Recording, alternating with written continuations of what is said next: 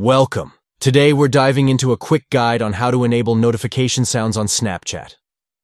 If you're tired of missing important snaps because your phone isn't making any noise, you're in the right place. Let's get started. First, grab your Android device and open the Snapchat app. Once you're on the home screen, look for your profile picture in the top right corner. Give it a tap to access your profile.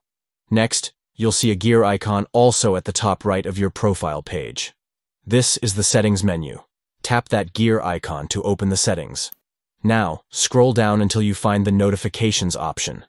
Tap on it to see your notification preferences. Finally, look for an option labeled Sound. Make sure to mark this option. Once it's enabled, you'll start hearing sounds whenever you get new snaps or messages. And there you have it. You've successfully enabled notification sounds on Snapchat. Now you'll never miss a snap beat again. If you found this guide helpful, don't forget to like this video and subscribe for more tips and tricks. Thanks for watching and happy snapping.